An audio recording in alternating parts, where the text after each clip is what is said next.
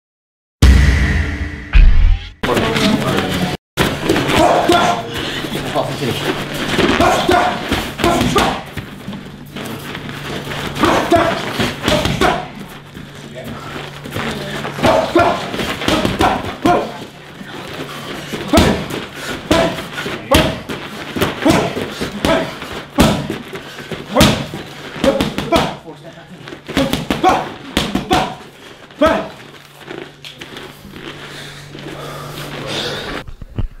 Hello, welcome to Fighters Only TV. I'm John Joe Regan. I'm here with Terry Etting from Cowbon Gym in Liverpool. Um, Terry, we've not seen you for quite a while. Where have you been hiding? Tell me about it, John. It's been a very long time.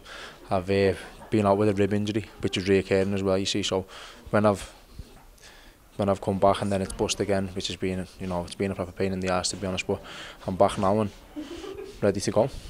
Cool. Your last uh, your last fight was Dos Anjos, Abu Dhabi, 112, long, long time ago.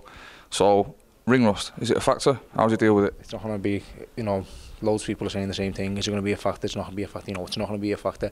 I've been in the gym, I've done thousands of rounds sparring.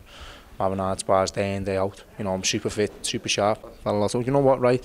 I've seen one of his fights, and on on one record I've seen he's seven seven and two, and then I've seen he's two and two. I've seen different ones, but you know I'm not going I'm not going to go by any records, and I'm not going to go off any of that at all. You know he's in the UFC, so he's obviously come to fight. He's going to be a tough opponent. You know you can never take someone like Lee John, and I'm going to take this as a very tough test. Obviously I'm very confident that that I'm going to win the fight. Which is what I was just going to ask you because I'd imagine sometimes the temptation. I know you're a hard worker in the gym, but some guys like we saw last weekend, um, you know Tyson Griffin didn't seem like he took back Polizewski seriously, and then we saw that ended up. But obviously, you've not taken it lightly at all.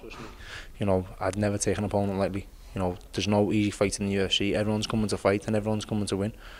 You know, he, he's had one in the UFC and and he's being beat. So obviously, this fight, he's not going to want to get beat. The division's that stacked and that you know, it's very cutthroat.